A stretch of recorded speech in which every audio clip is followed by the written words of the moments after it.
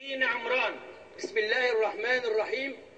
أقسم بالله العظيم أن أحافظ مخلصا على النظام الجمهوري وأن أحترم الدستور والقانون وأن أرعى مصالح الشعب رعاية كاملة وأن أحافظ على استقلال الوطن ووحدة وسلامة أراضيه.